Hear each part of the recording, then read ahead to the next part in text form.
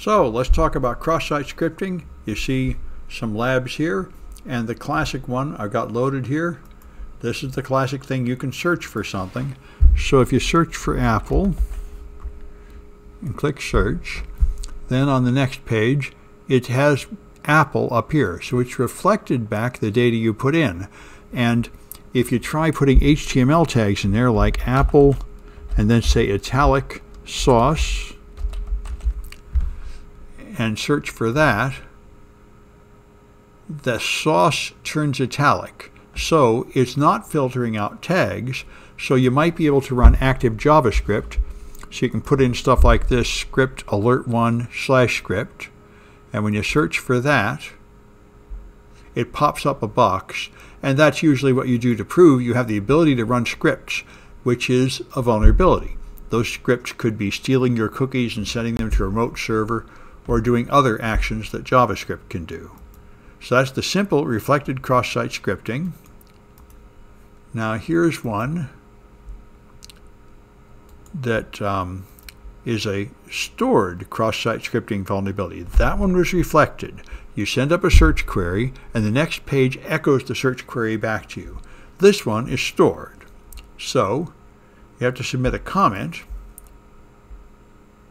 And this one is arguably, well, they're both kind of dangerous, but the reflected one bounces back to the person that makes the request.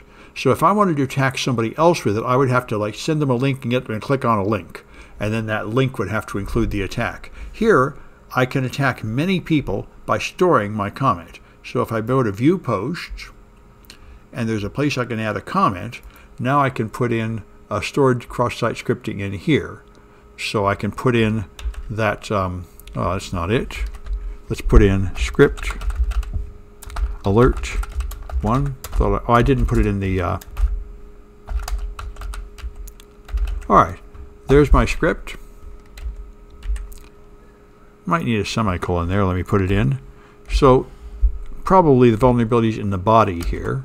So I put that there. Now I'll give it a name and some kind of email, a at b.com and a website. Okay, so if this is right, I'm leaving a comment, which is not and now everybody that views this page will have that script happen. So all the viewers will run that script. So this is a way you can attack many people. All right, that's stored cross-site scripting. And the next one is document object model based cross-site scripting, which is similar. And what this does is it uses um, the search query tracking functionality it uses a document write function to write to the page. And that's called from location.search. So it seems a lot like the previous ones, and I found it very confusing when I first heard of DOM-based cross-site scripting. But the point is, if I search here for Apple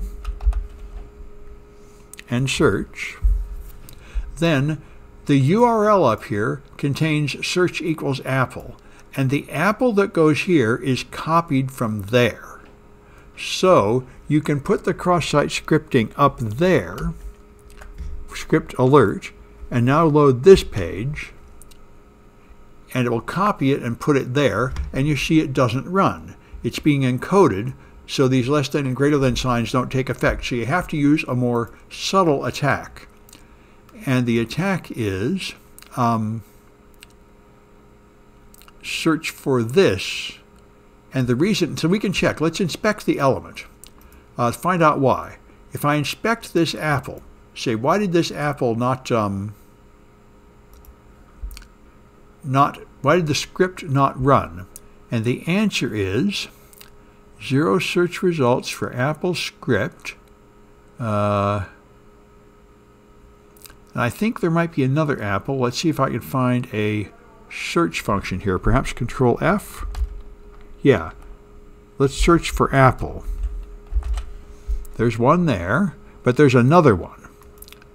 There's an apple down here where it is an image source tag that includes that term. So if I put in a quote to end this quote and a greater than sign to end this image, I can then put in a tag. And that's why the answer is to have the quote greater than and then some kind of injection. And they're using scalable vector graphics on load is another way to do it. I don't think that's essential. So you put that up here. There.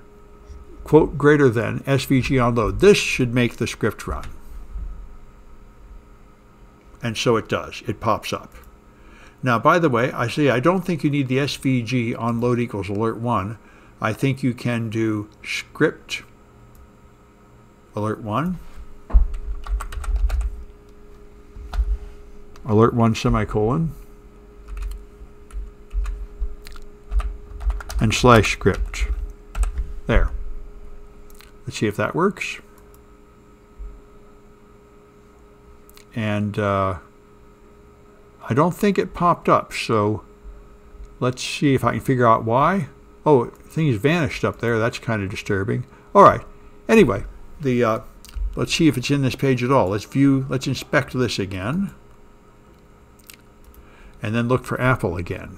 Control F to search, and then Apple. And there are no apples. Oh, well, that's rude. Okay, looks like all that search stuff vanished up there. All right. Uh, fair enough. Anyway, this one worked with the SVG, so that's what I wanted to show you. More cross-site scriptings, and there's many, many versions of cross-site scripting that work in different circumstances.